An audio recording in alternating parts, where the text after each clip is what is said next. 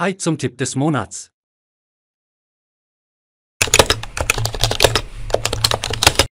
Seid ihr bereit, euer Kollaborationsgame in Office zu revolutionieren?